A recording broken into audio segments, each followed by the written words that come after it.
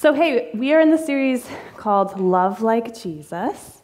And one of the things that we have been thinking about is that Jesus is really not a judger.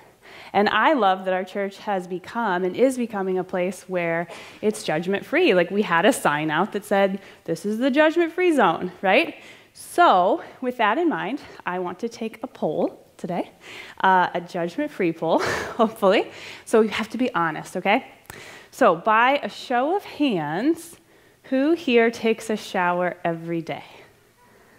Like, oh, yeah, we have some clean people. I love this. How many people don't take a shower every day but wish they could take a shower every day? Is that anybody? Yeah, okay, thank you, Ivan. Very good. How many people are just really lucky and they have this like fresh, clean baby smell that comes from them even if they don't shower every day. Danny, wow, that's so great. I wish I was as lucky as you.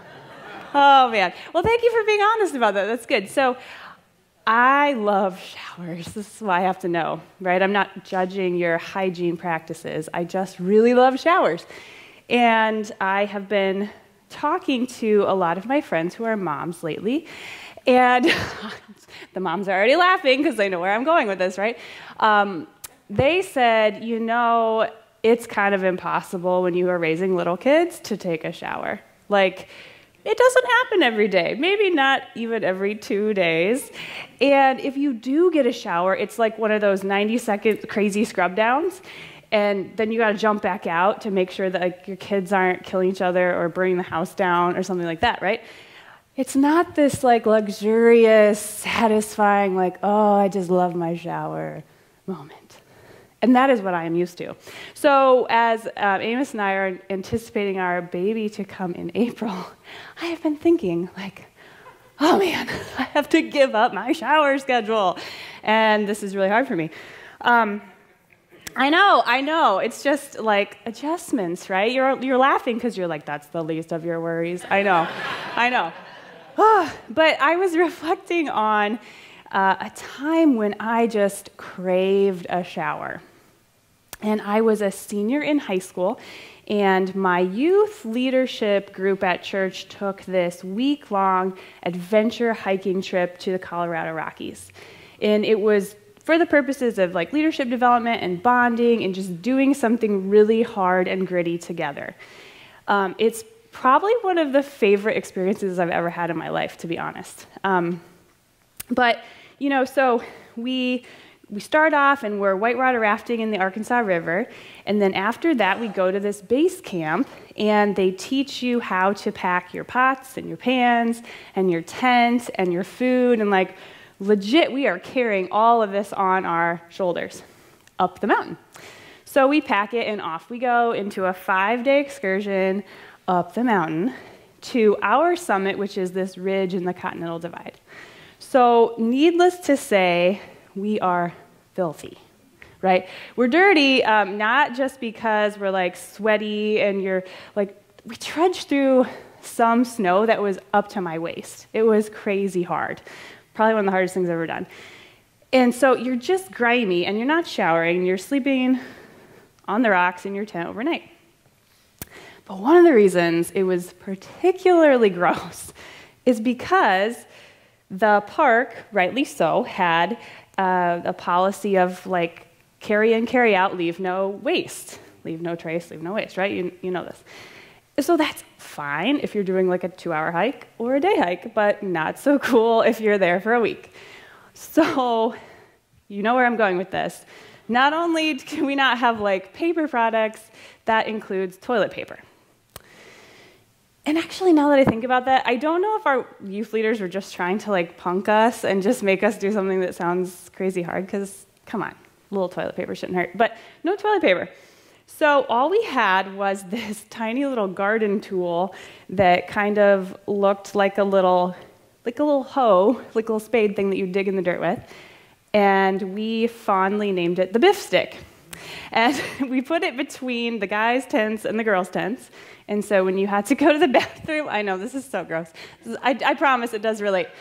Um, it, when you have to go to the bathroom, you, you get the biff stick so like everybody knows that you're out doing your business, and you have to dig a hole and try to hit it and then cover it up. Okay. So we decided to have fun with this, and we thought we're going to have a toileting competition, of course. And I know it's so awesome because I still remember like you got points for if you were going to the bathroom and you saw some wildlife, but then you got double points if the the animal was actually dropping a load while you were dropping a load. and so anyway, this point system was crazy elaborate. And um, this, the boys probably came up with this, right? Like, I don't know what high school girls are thinking, like, let's make this bathroom competition. Um, but you also got points for like the most creative wiping item, which we learned was uh, pine cones. In case you're ever in this, I know, a little scratchy, but pine cones and snow. Those are the best things that we could find. So if you're ever like in the wilderness, try those things out, right? So, needless to say, like, I craved a shower. I mean, I tried to get clean all week, like through the little streams. You know, you're like, okay, let's splash some water in my face, try to wash my hands. But you don't really actually feel clean. You're like, I just need a shower. Right? So when I got down, back down the mountain, to, back to base camp, I like don't have words for this experience. I saw the shower house and I was just like, I've never been so satisfied and happy in my life, and I'm anticipating how wonderful this is going to be. Just to like, oh, it's just raining down on me. And I legit think we all took 45 minute showers, and which was awesome. And our youth leaders were so good because they're like, sure, we don't care. We just don't want to smell you in the van on the ride back, right? So they just let us take the shower. Okay, so what does all this have to do with Jesus? Well, truly there is something so amazing about that desire or that need to be cleansed by water. But I think more important than that, more even human than that, is the need to drink it, to quench our thirst with water. And so today we're going to look at a passage in the Bible that's all about being thirsty. So if you have your Bibles, you can turn to John 7, chapter 37 with me or your devices, or it'll be up on the screen for you. And I'm just going to read out of the New Living Translation here. It says, On the last day, the climax of the festival, Jesus stood and shouted to the crowds, Anyone who is thirsty may come to me. Anyone who believes in me may come and drink, for the scriptures declare rivers of living water will flow from his heart. When he said living water, he was speaking of the Spirit who would be given to everyone believing in him. But the Spirit had not been given yet because Jesus had not yet entered into his glory. So the context is this the Jews are gathering for something called the Feast of the Tabernacle. And this was their way to sort of ceremonially remind themselves of how God had provided for them when they were in the desert. So they were in slavery in Egypt, and then he released them, but now they're wandering around in the desert. And so there's a lot of eating at this festival, there's drinking, there's revelry, there's celebration, there's lots of joyous noise. And there are these two really interesting rituals that happen. The first is that the people would actually create these lean tos or tents and they would sleep in them. And that was to remind themselves, like, God made a shelter for me, and He took care of my physical needs when I was in the desert. And the other thing that would happen is that the priests who were here at the festival would every day for seven days carry um, a special container, like a goblet, and they would go to this really specific pool and they would fill it with water and then they would like have this processional where they would bring it back to the temple and then they would dump it out on the altar. And that was to remind them how God provided water for them in the desert by striking the rock, and then the spring came out of the rock. Okay, you following me? It's a crazy story. So imagine Jesus shows up at this festival on the very last day and there are crowds shouting and there's all this stuff happening. And now keep in mind, in the passage right before this in the Bible, it says that there are some men who are literally hunting him down to kill him. They want to arrest him because he's claiming that he's God. So you would think, like, okay, Jesus should probably keep a low profile. He can go to the festival, but why is he doesn't want to draw attention to himself? So what he does in this passage is so shocking because he shouts, right? Mostly just to be heard above the crazy noise of the crowd. But also, I think, because he has this prophetic message, this prophetic proclamation, and he says, Come to me.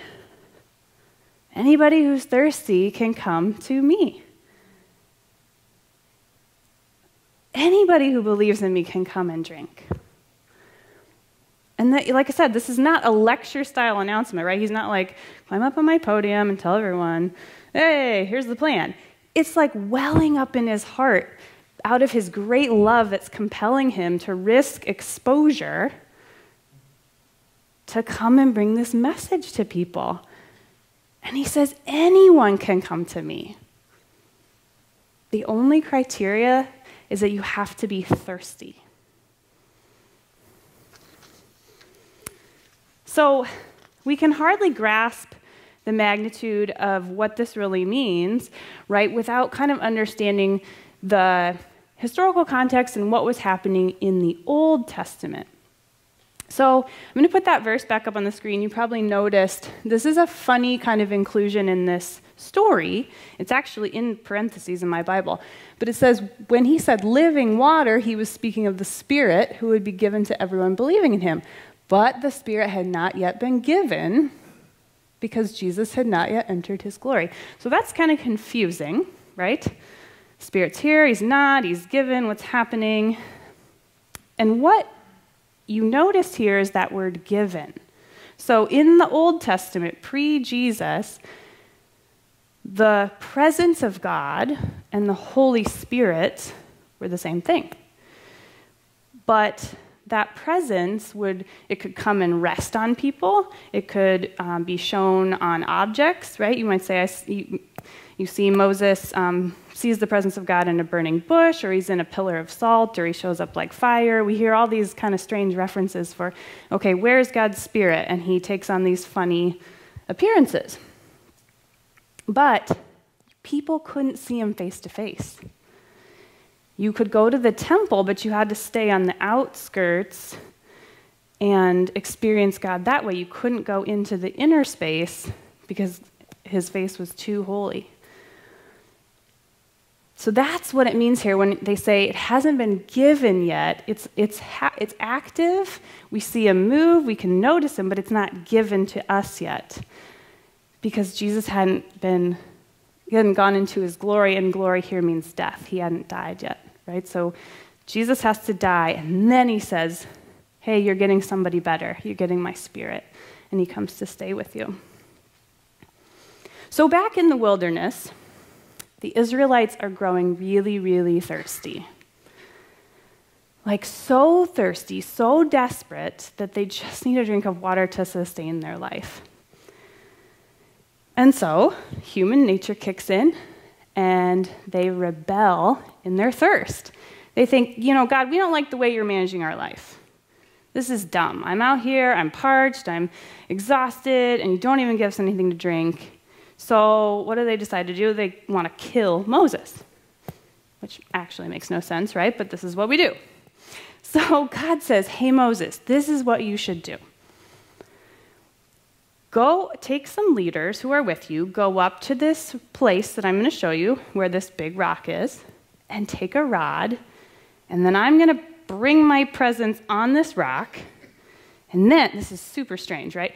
And he says, then you're going to take the rod, this big stick that I told you to bring up there, and you're going to start hitting the rock with the stick. Which it just sounds ridiculous, right? But that is how the miracle happens. The rock is struck, and there this is this fountain, this geyser of water. And the people are able to drink. See, God quenches their thirst with this most unlikely source. And that is what they're celebrating at this feast. And then Jesus interrupts them with this crazy invitation. And he says, Come to me and have a drink. And isn't that funny? He doesn't say, Go and get a drink. Right? He doesn't say, like, okay, here's a treasure map. You have to do it all Indiana Jones style. Find the clues. You know, if you're good enough to survive out there while you're searching for this water, then you'll get it. No, he says, Come to me. It's an invitation. So I just have been marveling at this as I've looked at this the past few days, and I just want to share a couple of things I've noticed. We already said it's an invitation, but he says anyone can come. And actually, that sounds a lot like Jesus' love is wide, right? We've already talked about this in that series. But what he's referencing here is actually a passage in Isaiah. One of my favorite books of the Bible, but Isaiah's a prophet and he's trying to foretell or tell in advance what the kingdom of God is like. And Isaiah 55 says, Is anyone thirsty? Come and drink, even if you have no money. Come, take your choice of wine or milk. It's all free. Why spend money on food that does not give you strength? Why pay for food that does you no good? Listen to me, and you will eat good food. You will enjoy the finest food. Come to me with your ears wide open. Listen, and you will find life. I will make an everlasting covenant with you. I will give you, what does he give him? All the unfailing love I promised David. It's a super beautiful passage, and Jesus is alluding to this when he stands up at this festival and he says, Anyone can come to me and get a drink. The only criteria is that you are thirsty, right? To receive God. This is crazy. To receive God, the God of the universe, the God who made you, the God who loves you, all you have to be is thirsty. Think about it. It's not how much money you have. It's not your social status. It's not how worthy your family tells you what you are of love. Thirst is like one of the most basic human needs. Why? Because it comes to us every single day, right? You can't actually go a day without drinking. I mean, you can, uh, but you don't live very long, right? And then the other thing that's so crazy is he says, Come to me. So he's got this invitation, but not only is he saying, You can quench your thirst, he's saying, I am the one. I am the one who will quench your thirst. He says, I can satisfy you in your innermost being. And I think something he wants to say to us today is that if you don't even know what you want yet, it's Jesus. Like, He's always the one you're looking for. So, he, in, in this passage, he says, You're not thirsty if you're filling up on food that doesn't give you strength.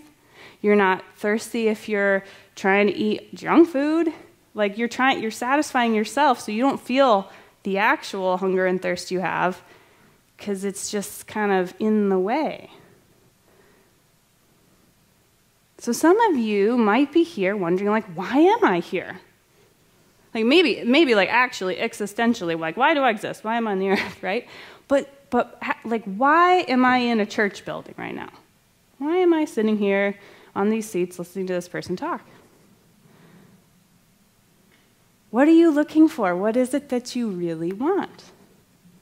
Is it purpose, meaning, connection, security, safety, better friends, love? If that is you and you're thinking, man, I do not have my ducks in a row, that's okay. That's actually just your thirst welling up. That's your thirst talking to you. And I think what God wants you to know today is that the thing that you think you need actually just points to the thing you really do need. You guys, you can live a benevolent and moral life and it won't satisfy your thirst. It won't quench you. You can try to be satisfied by everything else, but it won't actually work. Because Jesus says, It's me. It's me.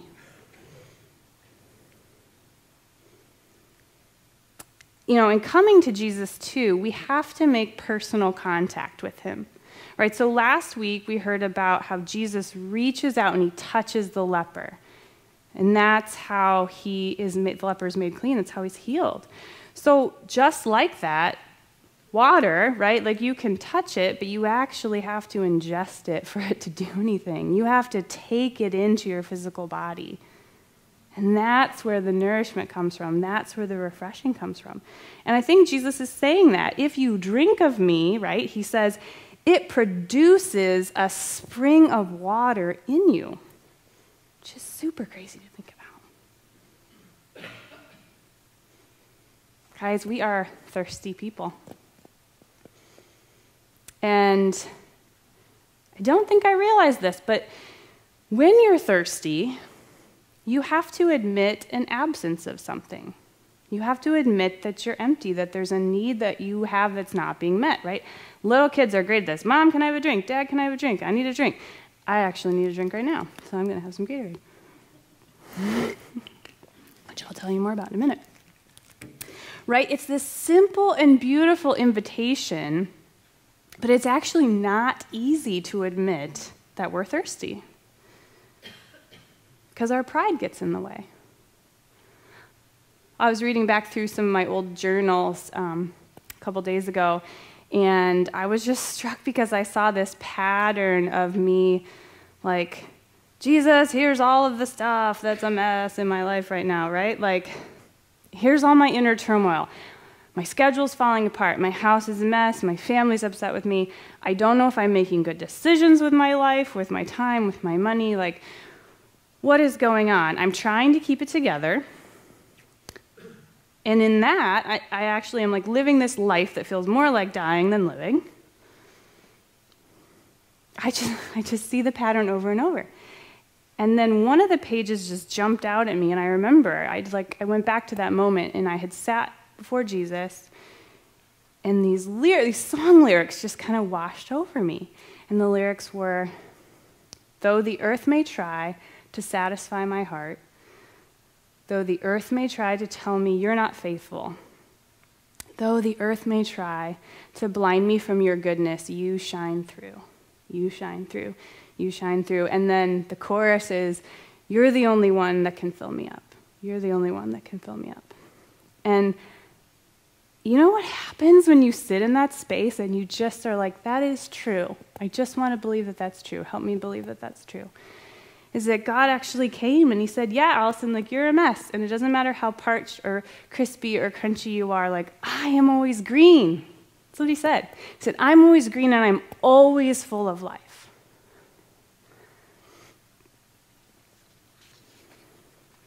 No matter how withered and crunchy we are, guys, Jesus' love is satisfying because it's this internal, ongoing reality that is working itself out in our lives, in our very beings. I don't think it's an accident that all over the Bible there are examples and illustrations of thirst and water. Right? We, we read about it. Water cleans you, it refreshes you, it nourishes you, it grows things. God loves talking about trees and, and life and vitality, and He's always saying there's water that's the source of that all. I think Jesus uses water and thirst because He's trying to tell us hey, your deepest needs are not just a one and done. Like, you can't get them met once and then move on. You have to, like, get your deepest needs met every single day. You can't just drink a bunch of water. I don't know if anyone's tried. You can just drink a bunch of water one day and then try to, like, I'm not going to drink for the next week. It doesn't work like that. You can't bank up the needs that you have and be like, God's going to do it all over here, and then I'm going to try to like home stretch it. It doesn't work. And you can't just use any liquid. So this is actually really comical because I didn't realize that I brought this Gatorade up here. Well, I did, but I'm learning a lot about this in pregnancy, right? Because I want things with flavor. So every morning I'm like, I need something sour or sweet or something. I just can't do plain water. It's so gross. So I drink lemonade or I go to the Gatorade, which is so funny because this is what I'm drinking now, right? I go to the Gatorade, I take a sip. It's pretty good. But here's what you realize later all the sugar and all the salt in those drinks actually make you more thirsty. Right? Do you guys do this? It's so dumb. Like, I learned it I learned it yesterday the hard way, and then I was like, oh, what I really want is water. And then today, what did I bring up here? Gatorade. I didn't even do it for an illustration. I just went to the fridge and brought this because that's what I wanted. It's hysterical. Like, we forget so much. We need water.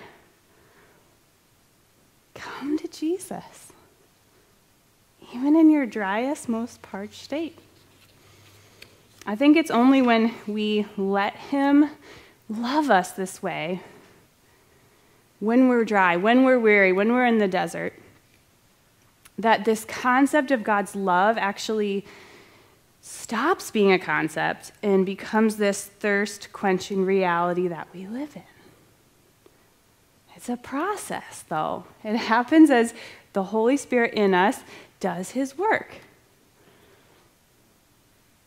And what I've realized is like when I let Jesus, when I just come to him, and I, I say, like, I'm bankrupt, I have nothing, I'm so dry, I'm so tired, I'm so weary, the Holy Spirit always shines the spotlight on Jesus. He always illuminates who Jesus is, and then that invitation comes back to me Come to me, drink, it's good, it's for your good. And then I do, I, I have these moments where like my soul is so overwhelmed by the love of God that all the rejection around me falls off. And, and I have these moments where his love is so real to me that it doesn't matter what other people are saying, I still feel loved. And then, just as easy, right?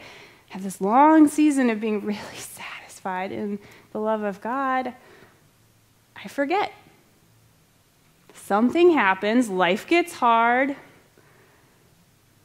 You know, God feels distant.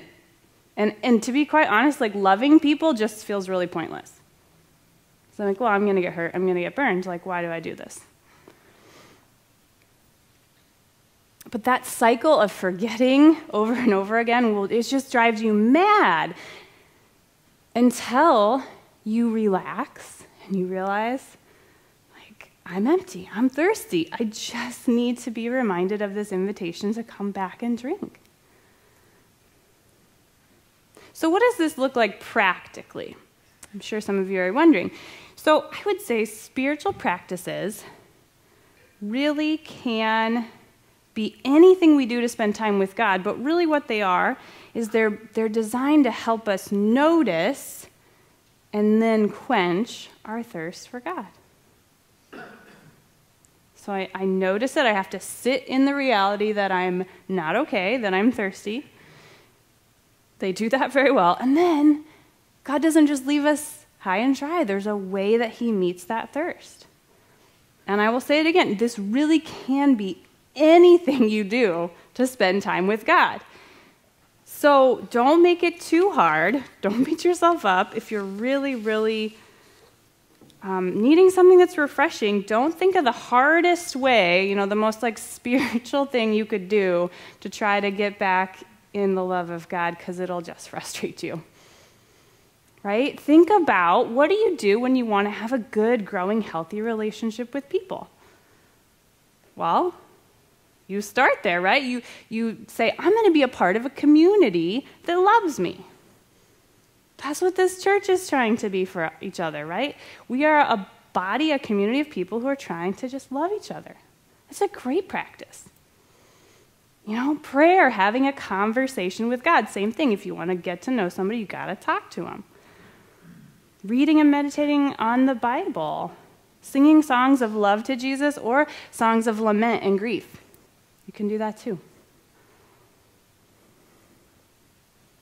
This week I thought about also like these spiritual practices, these rhythms. It's a little bit like learning to swim right? So if you've ever taught your child to swim or you remember being taught to swim, we all, like little babies, you watch them, you gotta like get them used to the water, right? So you dip their toes in and you splash them, and they're like, ah, I don't know if I like this very much. And then you move to this place where, okay, the water's okay, but I still need a lot of support, right? So in the spiritual life, it's like, okay, I dip my toe in, I do five minutes of reading my Bible or five minutes of prayer. And then you move to this place where you're like, how do I live this thing out? Like, I have questions. I need to know what does it look like to make decisions and follow Jesus? What does this Bible passage mean, right? We, we have to have the support of other people to try to get those questions answered. And then you're off to the races and you're like, I'm perfecting my freestyle and my backstroke, and I'm doing so good. I'm loving this. Everything's cool, got good rhythms going on. But then what happens? If you're a swimmer, you realize like you get tired. You can't actually keep going. You just run out of energy. Your arms feel like lead and you're like, "Oh no. I'm stuck." And you can't like if you stop, what's going to happen? You're going to sink. Right? Or you can float. And floating is this new kind of experience that I feel like I'm just moving into in the last couple of years. Like, what does it look like to float in the love of God, to actually cease my motion, stop the effort, stop the flailing, stop the trying to make forward progress, and just like, just lay back and be held in the love of God? That's amazing. But it's hard to stay there, right? The process will start all over again because inevitably you'll be like, oh man, is there a rock coming? Am I going to go over a waterfall? Is there a cliff? What if there's an alligator? Oh gosh, I better lift my head up, right? All these fears and worries start coming at us, and we're like, whoa, we got to steer. Like, what do you mean I'm just floating out here, God? I don't get to control my direction. I don't know. I can't see what's going on. So I lift my head up and I look around. I'm like, oh, where are the hazards? What's happening? Right? And then you got to start flailing around again or you're going to sink. But the invitation is always come to me, come back to me. Every morning, you never are going to outgrow these rhythms of needing to connect with Jesus. Here's another cool thing, guys. When you come to Jesus for a drink, he says you yourself actually become a spring of water. So when Jesus puts water in us, it's not stagnant. It's not like a cesspool, like here's some water, hope you can like keep it clean. It's a spring. It has a flow. It's going somewhere. It's going outward even. So we love like Jesus as we become a fountain for other people. So think of those relationships where you just feel so satisfied.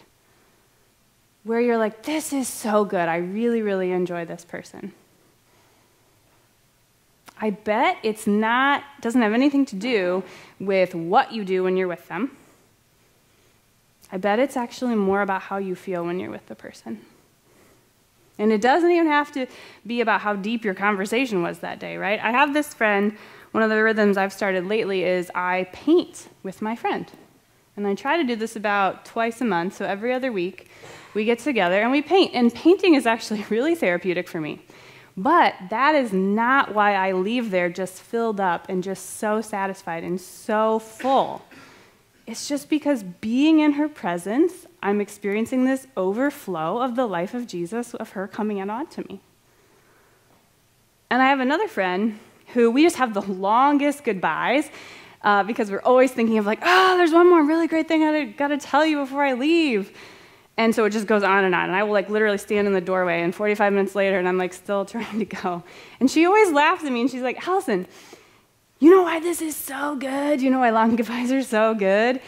It's because there's never enough time. Like she had this insight. There's, it, it feels like there's never enough time with you. But the cool thing is, we have heaven, we have eternity. Like we could actually have an eternal conversation, which the guys are like, that sounds terrible. No more talking, right? But guys, that's what it's like to be loved by Jesus. You never want it to end. My husband's laughing at me. You never want it to end. And here's the thing it doesn't have to. That's the good news today. It doesn't have to. Like, we go on and on and on because Jesus goes on and on and on, and we can be in his love forever. So, to wrap up, I just want to say remember, in the wilderness, God says, it's crazy. I'm going to put my presence on this rock. And I don't think that Moses truly has any concept of what God is asking him to do. Because, like I said, it makes no sense. Take this rod and start whacking this big rock, and then something's going to happen. And here's the crazy thing the rod of God symbolized his punishment, his wrath. So think about that. Jesus is telling, or God is telling Moses, take this thing that symbolizes my wrath and strike me, strike the presence of God with it, and then the life springs forth. What does that sound like to you? Jesus on the cross? Like he was struck to death. And he says, You can't sustain your own life. You can't fix your own problems. You're a mess. You're dry. You're parched. And because I love you and because my love is satisfying to you, I'm going to die in your place and you get the living water. Some of the final words in the Bible. I love this. The water theme is everywhere, guys. The final words in the Bible, Revelation 22. This is John's vision of what it's like when Jesus is going to come back and restore and set all things right. And the angel showed me a river with the water of life, clear as crystal, flowing from the throne of God. And to this river, the Spirit and the bride say, Come. Let anyone who hears this come. Let anyone who is thirsty come. Let anyone who desires drink freely from the water of life. Thirsty people receive the kingdom of God.